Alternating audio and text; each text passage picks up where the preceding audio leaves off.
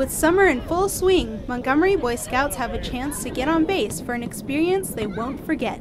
Camp Sunshine is an opportunity to get all the inner city kids, gives them a chance to get out of their neighborhoods, out of their same life routines, and gives them a chance to just experience something new.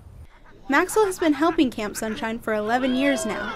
With it making such an impact on the kids, some volunteers, like Airman Blankenship, can't help but come back year after year. This will actually be my fourth year doing it. It's definitely an experience. It's a lot of fun. I enjoy it. The kids are always great. I'm just looking forward to seeing the kids leave happy. I hit it a few times. I think it's important because it shows the kids that there's definitely something different than what they've known. There you go. Their whole life. All week, campers get to try a whole variety of fun activities. We shoot BB guns, archery, play games, arts and crafts. We go on field trips. Most of every day I come and meet new friends.